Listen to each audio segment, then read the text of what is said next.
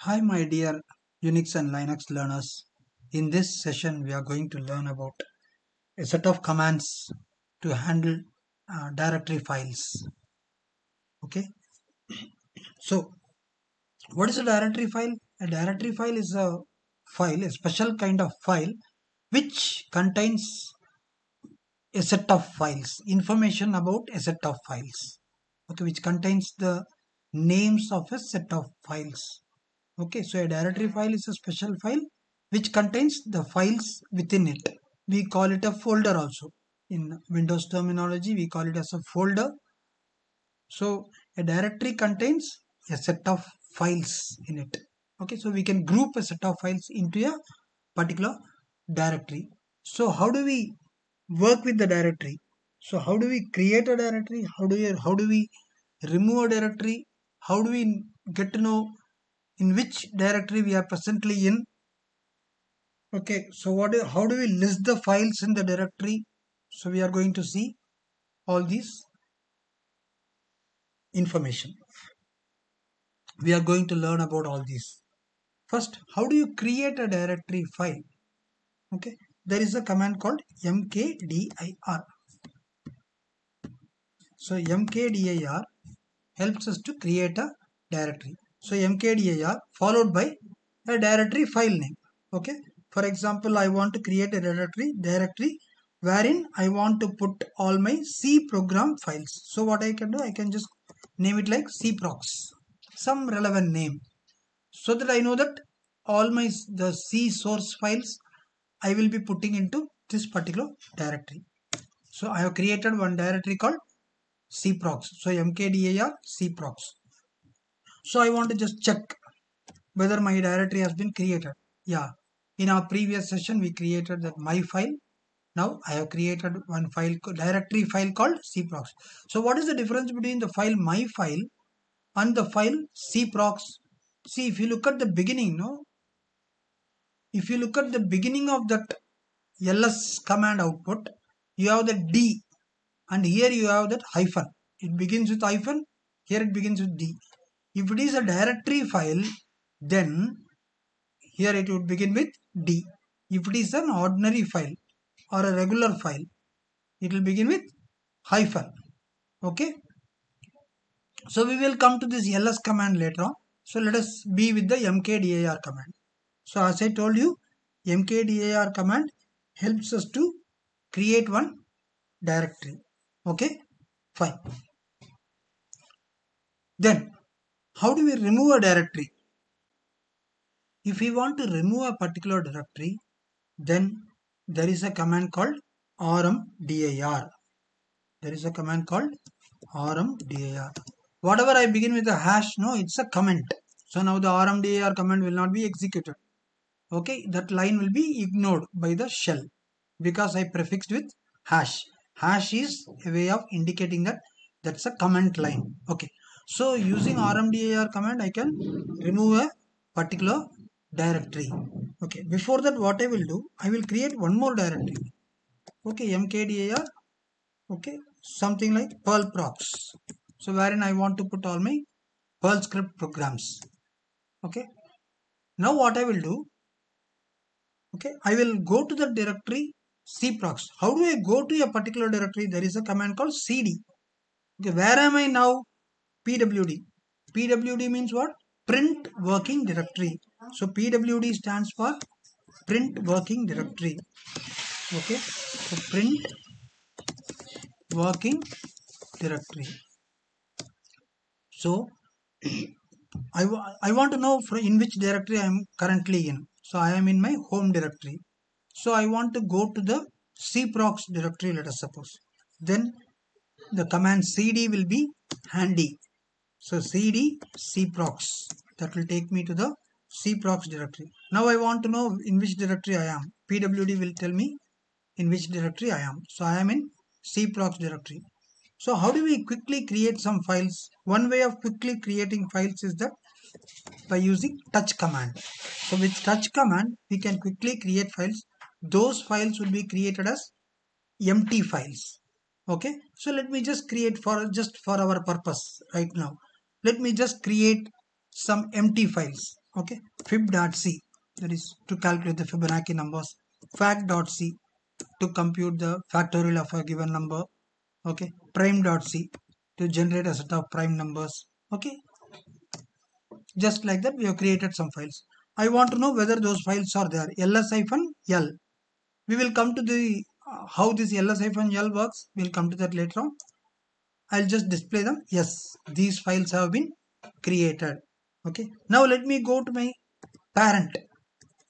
So pwd I am in cprox which is the parent of cprox parent of cprox is murali underscore maha. How do I go to the parent of the current directory? Cd dot dot. Cd space dot dot. Cd is the command. Dot dot means what? Dot dot is the shortcut for the parent directory of the current directory. Okay so cd dot dot will go to my parent. Okay.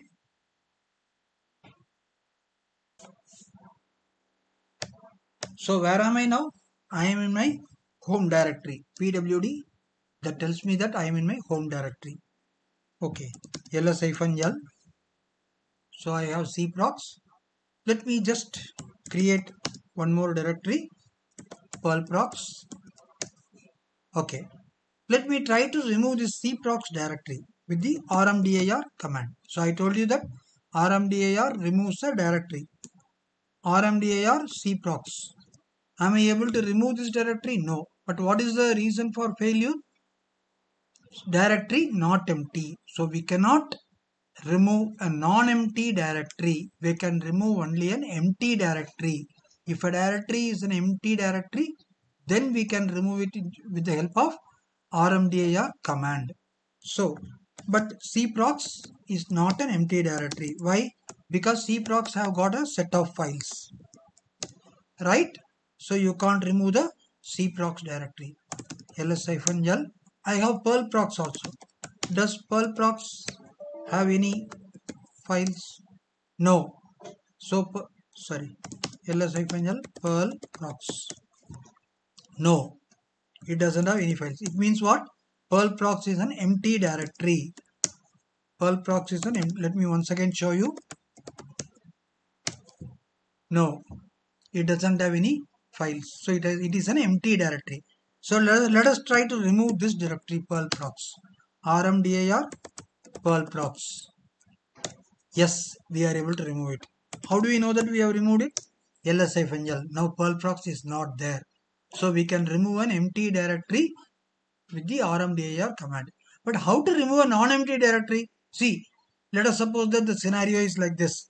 I have cprox i have some files in it but i very well know that this cprox the files within this cprox are not required. So i just want to remove the cprox directory itself. In that case how to remove it? But we can't remove that non-empty directory with rmdir but there is another way of removing it we will keep it for as a uh, parking lot. Okay? Meaning i will uh, tell about this in a different session when we are going to uh, work on a different command. Okay? That time i will be referring to that. How to remove a non-empty directory. So okay? Please keep following our channel so that you will be uh, getting to know that. How to remove a non-empty directory. Okay? So now we have learned about the rmdir command. And uh, we have learned about the mkdir command. We have learned about the pwd command. Okay? Now we are going to learn about ls command. What is the purpose of ls command? Ls command's purpose is to list the set of files in the current directory. So if i execute ls command it lists the set of files in the current directory ls command comes with certain options. What is the purpose of options? Options are specified with a command for the purpose of doing some specialized task.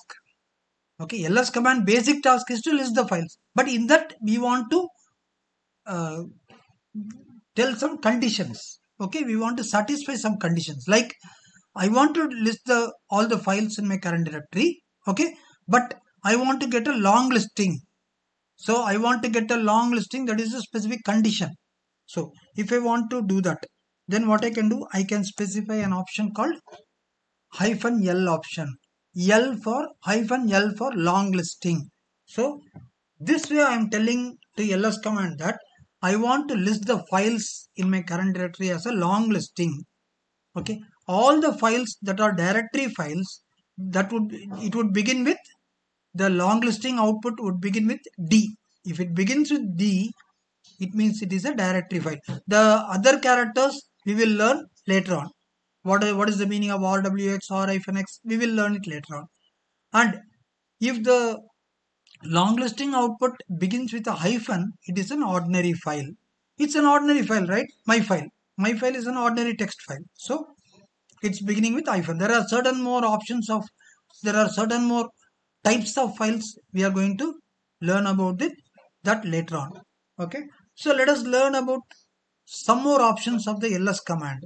Okay. So we have learned about uh, long listing output of ls. Okay.